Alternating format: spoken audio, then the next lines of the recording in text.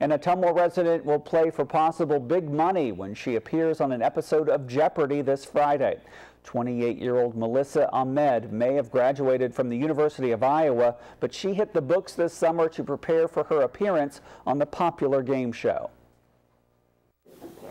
I read and read and read. Like I woke up in the morning and did a bunch of trivia questions and, you know, read part of an almanac and tried to memorize all the capitals of all the countries in Africa and, you know, every continent.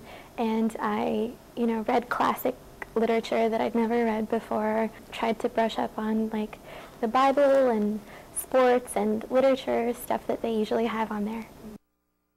Even with a degree in Chinese and religious studies, Ahmed says she never felt quite prepared enough.